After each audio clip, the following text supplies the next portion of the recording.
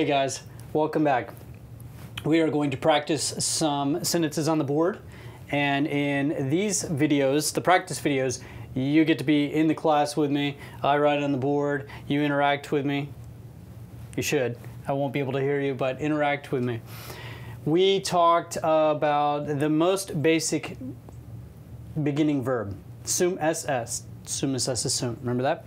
Well, now we're going to see it in some sentences in, the other video that you watched where I taught the lesson, I just kind of talked to you. Let's, let's actually look at some on the board here.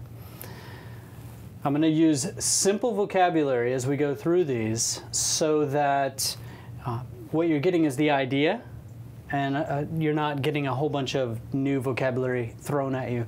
So you're having to figure out what are those words, what do they mean, and review the concept. So here we go. Marcus est amicus meus. Now look, there's that verb we talked about, guys. Est. It's is. Now, it means he is, but remember it can also mean there is, or it can mean just plain old is. Now we could do this a couple of ways. We could say Marcus, he is, but nobody talks that way. So what we'll do is say Marcus is. Marcus is, what is Marcus? He's amicus. I bet you can figure out amicus just by looking at it. Amicus means friend. That's where the Spanish get the word amigo. Marcus is amicus. He is the friend. Whose friend? My friend. The Romans wrote their adjectives kind of backwards. So instead of saying my friend the way we say in English, the Romans would say friend me or friend of me or friend my. Really, that means friend my.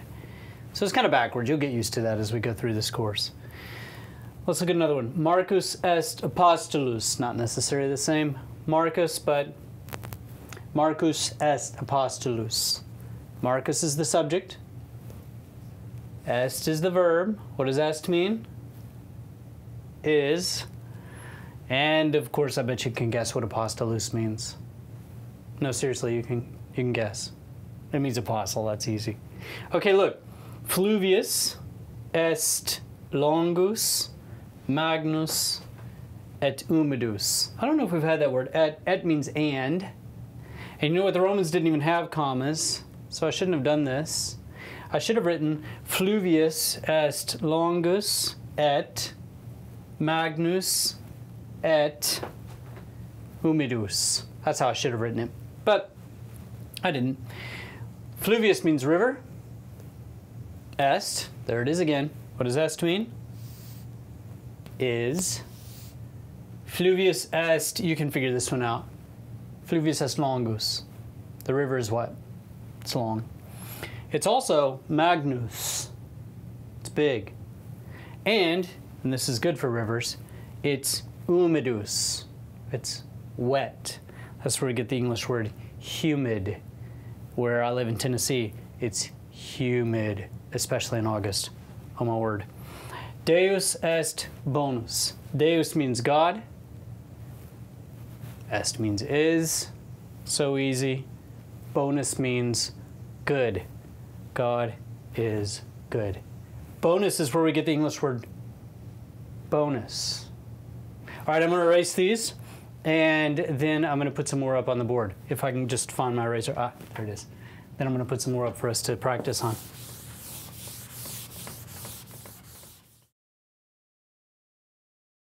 All right, we're back with some more sentences. Here we go. We're going to change it up a little bit. I'm going to add some plural in this time.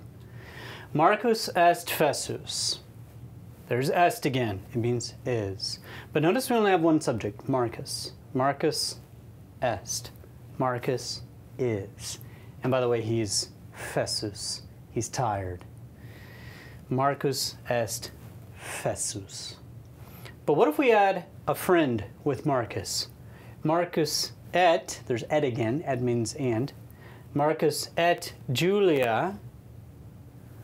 Now we have more than one subject. It's plural. It's not singular. Marcus is singular, but Marcus and Julia together, that's more than one, so that's plural.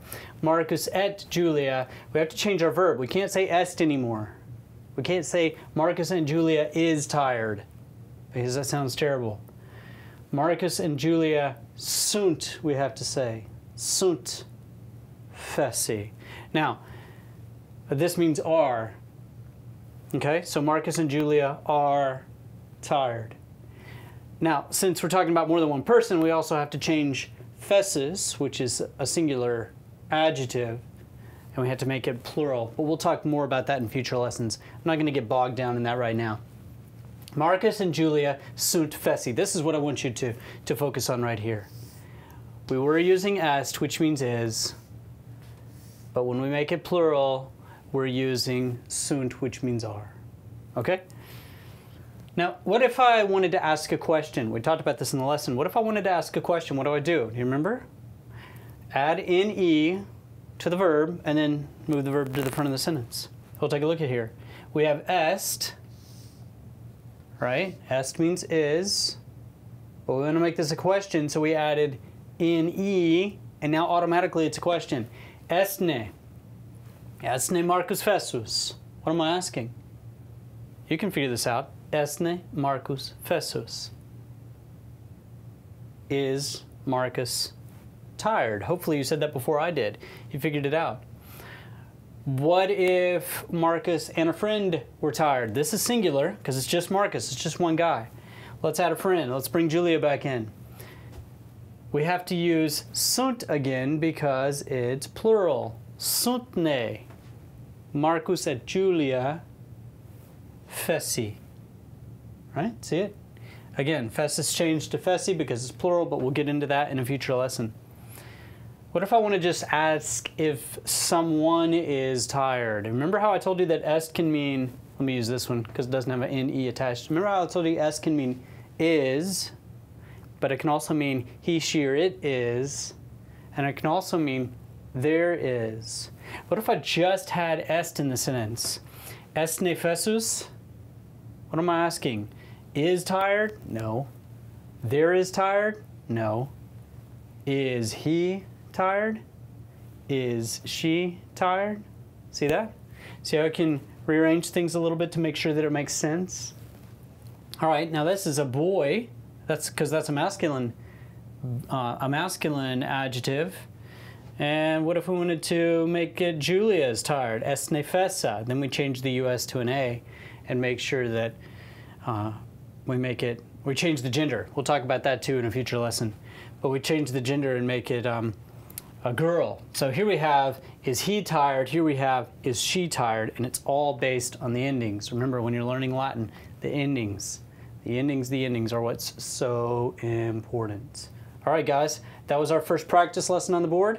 That's what it's gonna look like. I won't explain it to you next time. We'll move a little faster and maybe get through some more sentences. See you next time.